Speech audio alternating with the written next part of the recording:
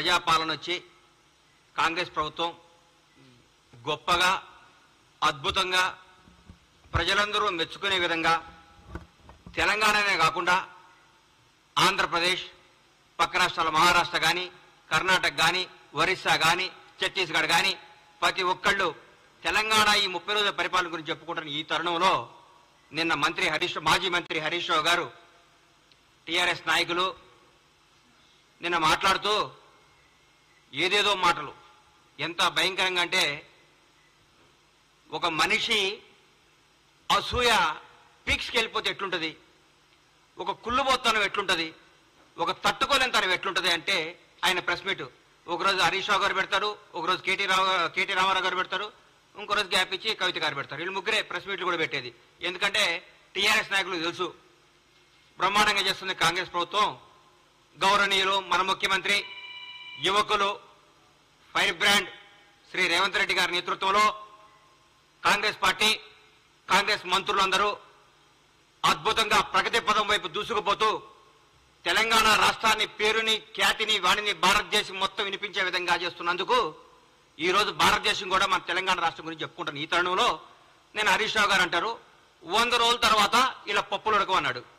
నేను చెప్తున్నా హరీష్ రావు గారు వంద రోజుల తర్వాత కాంగ్రెస్ ప్రభుత్వం బిర్యానీ ఉడుకుతుంది చికెన్ ఉడుకుతుంది గుడ్లు ఉడుకుతాయి అన్నీ ఉడుకుతాయి. మీదేం ఉడకదు. మీ నీళ్ళు కూడా ఉడకవు. మీ నీళ్ళు కూడా రాగవు ఎందుకు సార్ వంద రోజుల తర్వాత మమ్మల్ని ఏం చేస్తారు సార్ మీరు? ప్రగతి భవన్ని ప్రజాభవన్ చేసినందుకా? మీ ప్రగతి భవన్లో ఉన్న వంద గడీలు ఐదారు పెద్ద పెద్ద బిల్డింగ్లు విడగొట్టి అందరికి అందుబాటులో తీసుకొచ్చినందుకా? ఒక దళిత ముఖ్య దళిత ఉప ముఖ్యమంత్రిని తీసుకొచ్చి అందులో పెట్టినందుకా? ఎందుకు సార్ మీరు చేసేది? నియంత్రణ నియంతృత్వ పాలన పాతరేసి ప్రజాపాలన తీసుకొచ్చినందుకా? మరి మహిళలందరికీ ఫ్రీగా బస్సులు ఇచ్చాం.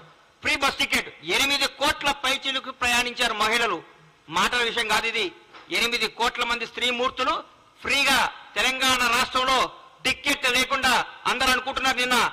అన్న ఈ నెల నాకు పదమూడు వందలు మిగిలినాయి. ఈ నెల పదిహేను వందలు మిగిలినాయి. ఈ నెల పదహారు వందలు మిగిలి ఈ పదహారు వందలు తీసుకపోయి చిట్టి కట్టుకుంటాంది మా ఇంట్లో పాపం ఒక మా ఇంట్లో పనిచేసే ఒక అమ్మాయి. నాకు చాలా ఆనందం అనిపించింది. ఇది ప్రజాపాలన అంటే ఇది ప్రజా ప్రభుత్వం అంటే లక్షల రూపాయలు మేము ఆరోగ్య బీమా కింద పంపించినందుక మీరు ఏం చేస్తారు సార్? మేము ఏ నిరుంకత్వం లేకుండా ఏ రికమెండేషన్ లేకుండా నీతి గల నిజాయితీ గారి పరిపాలన అందిస్తున్నందుక నీతి గల నాయకుల్ని మంచి మంచి ఉద్యోగాలు నియమించినందుక ఏ ఫీలింగ్ లేవు.